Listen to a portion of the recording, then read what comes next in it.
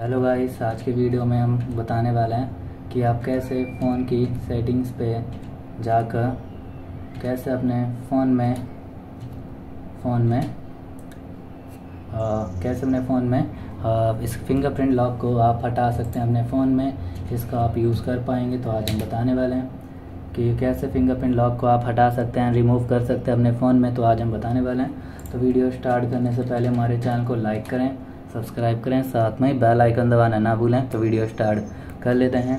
तो आप देख सकते हैं कि जैसे अपने फ़ोन की सेटिंग्स पे जाकर कैसे अपने फ़ोन में फिंगरप्रिंट लॉक आप हटा सकते हैं या फिर कैसे हटा पाएँगे तो बताने वाले हैं। तो वीडियो स्टार्ट करने से पहले हमारे चैनल को लाइक, सब्सक्राइब तो आपको स्वाइप करना है। स्वाइप करते ही सेटिंग्स पे जाना है। क्लिक करते ही सेटिंग से ओपन हो जाएगी।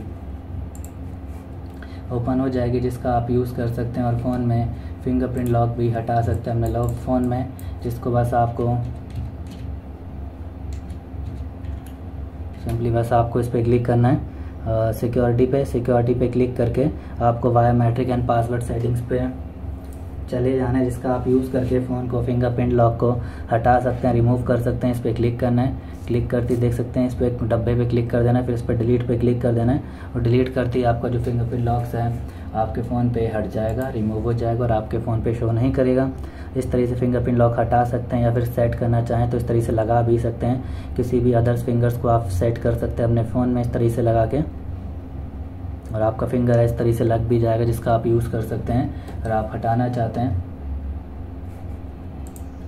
हटाना चाहते हैं तो आप यहाँ से डिलीट करके रिमूव भी कर सकते हैं और फिंगरप्रिंट लॉक हट जाएगा।